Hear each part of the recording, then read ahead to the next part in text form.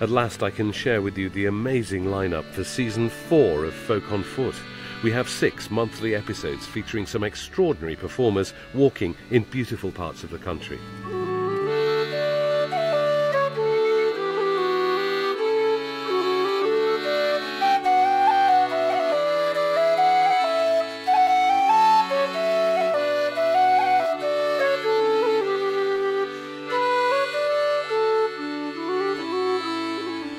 For our most northerly episode ever, we are on Orkney with the guitarist, singer, and songwriter Kris Drever.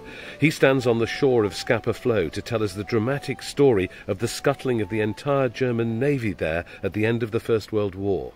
They had the second biggest navy in the world after the British Navy.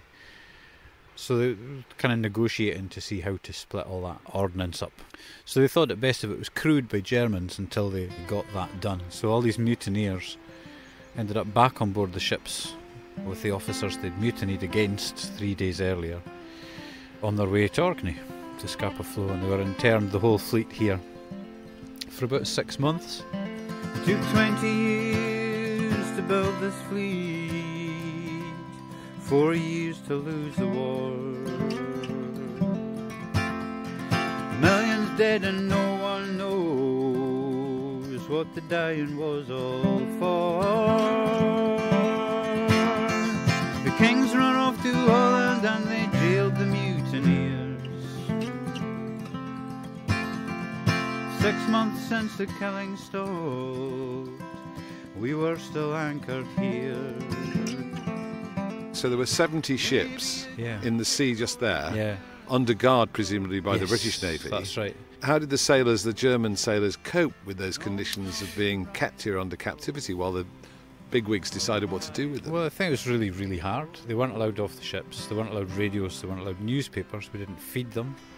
They relied on food parcels from Germany, can you imagine, at a time when there must have been virtually no infrastructure at all. So they were hungry, cramped, and they were smelly. I think soap was hard to come by and fresh water.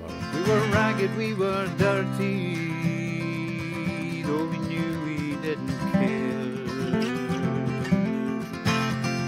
Our only flag was a linen rag, as lank and lousy as our hair. Esprit de corps and dignity, they ran off with our gold. One day I robbed an officer. I sold his iron cross for soul. Maybe a country rose and fell in Oldenburg, God only knows. And all we saw was the rise and fall of the tides in Scapa Flow. Kris Drever on Orkney, where he was born and brought up. On a wet and windy day, Bella Hardy takes us for a bracing walk through the glorious Edale Valley in the Peak District, which has cast its spell on her life and music. What is it about the place that you love so much? Because you're here still, you haven't left, you know, Well, so I, some I did people. get away for a bit. Yeah, I did escape briefly. Um, I mean, look at it. it is absolutely even gorgeous, in the even rain. on a wet day. I actually really love the wet days because there's a certain gloomy atmosphere you get to the. It all gets a bit Wuthering Height as, as soon as the rain starts coming down. It's fantastically gloomy.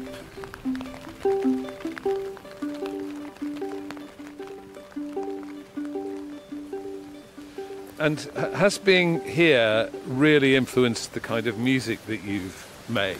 Have you picked up on music from this area, for example? I certainly have picked up on music from this area. I think, in a more general way, it's very hard to tell at the time that you are being thoroughly influenced by what's around you. But when I listen back to my albums, it gets mentioned again and again and again, Edale, in some reference or other, whether it's one of the landmarks or quite often kind of my valley turns up. There's a song about stars in China where all of a sudden I'm talking about Edale. And, you, and you wrote a whole I album, wrote a whole album The Dark as well. Peak and the White. Yeah, well, I, I've always, you know, loved traditional music. I come from a ballad singing background, a traditional music background. And we have local carols here. I think I'll probably sing you a local carol, actually. Oh, that would Um, be great. From Castleton, because we have North Derbyshire, South Yorkshire carols. And there wasn't really any other songs I knew from the area, so I kind of actually started by going on Google Books and trying to find things with references to Edale or local places. And I found the Derbyshire Ballads in Google Books first. Right. We're right by the train line here. Look, the train's going past. Uh-huh. The train is our lifeline. it used to be a milk train many years ago that used to come in and collect the milk when there was dairies all up and down the Edale. No dairy left, sadly. So you started researching songs from, Yes. from this area? Yep. And I found this book, The Ballads and Songs of Derbyshire, and that had a good few from the Peak District. Down in yon forest there stands a hall.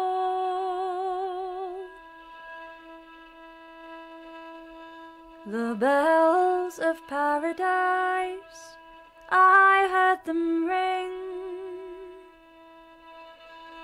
It's covered all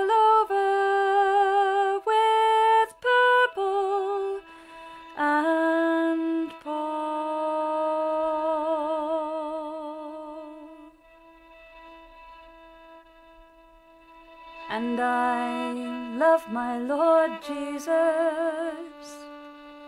above anything.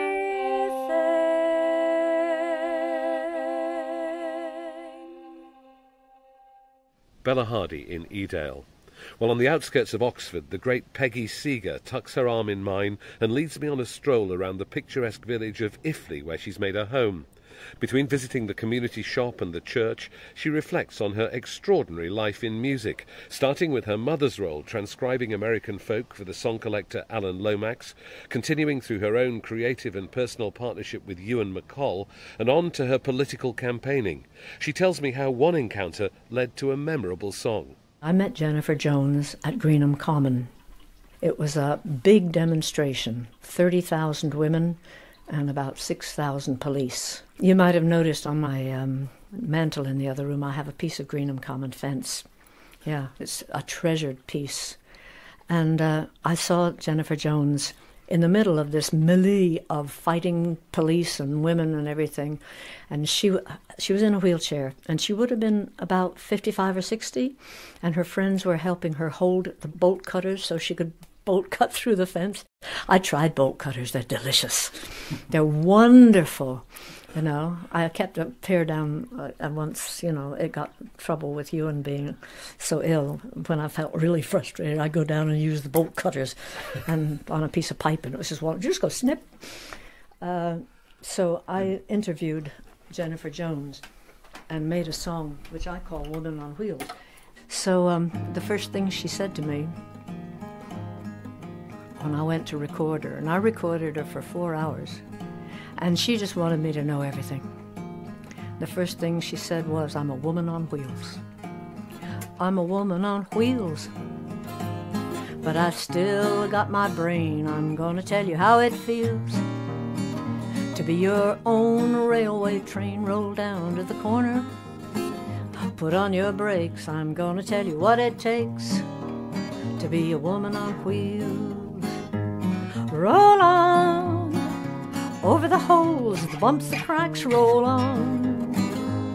Do you remember that day we were running for the train and my tire went flat? Roll on. That man over there, the one under the hat, trying so hard not to stare. You get used to that, still is better than looking, than looking away. You get that every day. You're a woman on wheels. Roll on, pity me and I'll pity you. Roll on. All they ever want to talk to me about is the things that I can't do. Roll on. Peggy Seeger in Iffley. Well, the lead singer of Oyster Band, John Jones, is in many ways the patron saint of folk on foot. He's been walking from gig to gig for years. We catch up with him on the way to the Wickham Festival in Hampshire, and he introduces us to the merry band of reluctant ramblers who join him on his celebrated walks. Just looking at your T-shirt. Is this a John Jones and the Reluctant It is a Ramblers Reluctant T-shirt? Ramblers t-shirt, indeed. Yeah, and what does it say on the back here? Let's This have a look. one, I think, is from Spine of England. Oh, Spine of England number two walk. That was that was um, last year, I think. I came in 2013 on the South Downs one, and that was the first time I ever went out walking in a brand new pair of boots, and it was 16 miles. I thought I was going to die. How were your feet? Well, it was my legs, really. I, I seized up completely, but it got me into walking, and I now go walking every week. It was fabulous because we were right on our own doorstep and we didn't know that this was all here.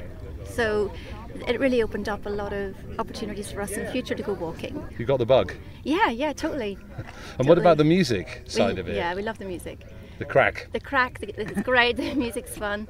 Um, yeah, just to round it all off with music in the evening is just perfect. How does he do that? Do you know? Because I mean, when I'm at the end of a long walk, Yeah. I want to lie down and go to sleep, I probably know. after a couple of pints or something. Yeah. Uh, but he stands up and I know. it gives his seems- all. it How does that work? I don't know whether he's just energised by it.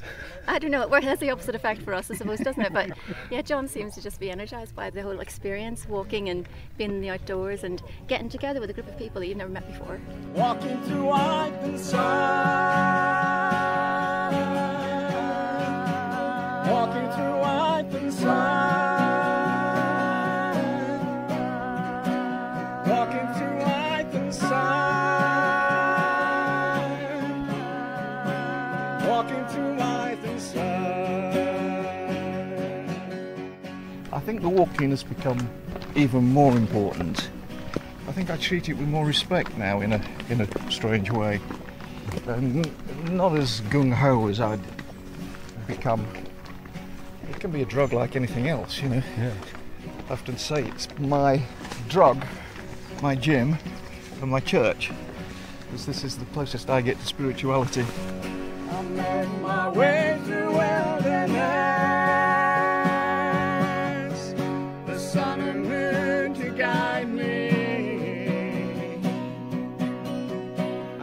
I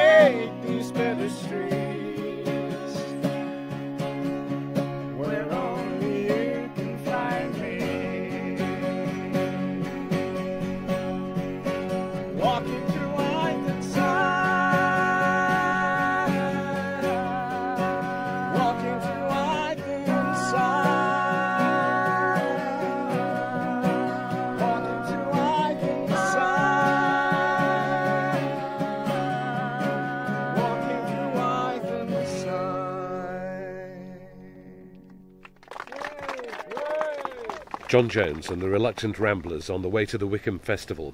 We'll also bring you an episode recorded at the Small Halls Festival on the Isle of Skye in November, featuring musicians including Rachel Newton and Duncan Chisholm. More details to come. But we start season four in the company of Nancy Kerr. For 12 years, she lived on a narrowboat, sailing the canals and rivers of the UK, an experience which inspired a number of her songs. There's lots of different ways of doing it. That's what I loved about the canals. There's so many people there for lots of different reasons, having different kinds of lives. You know, lots of people living as we were there because it's affordable, or it was. It was an affordable way for us to have a lifestyle we wanted. And then there's people making a statement about living off grid and living privately and being among nature. And then all sorts of people who just want to enjoy the history of the waterways, or, you know, it's just, there's no one identity. Did you ever fall in? Yeah, all the time, about once a month. Oh, really? yeah. And one time I was on my own and I fell in. I imagine I looked a bit like one of those sort of mythical selkie creatures from, you know, northern mythology. I was kind of covered in slime and I just kind of poked my head up from the side of the canal with my hands on the side of the towpath and asked two men to lift me out. So there's a swing bridge here. Yes, there's quite a lot of these. This one's locked open, but there's lots of these because the canal was actually a defence during the war. So they had lots of swing bridges that they could then make sure couldn't be swung, basically. keep so, the enemy yeah, out. to keep the Yeah. enemy out. Would you like to sing on the bridge? Let's sing on the bridge. Oh, yeah, yeah, that sounds brilliant. good.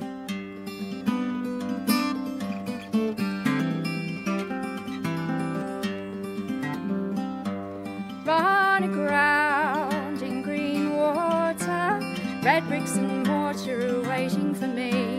Put to grass in the bright gorse, spraying white horses are waiting for me.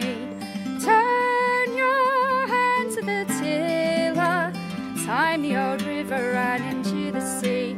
Sunset forces the day down, spraying white horses are waiting for me. Still the drone tone under your hand. Set the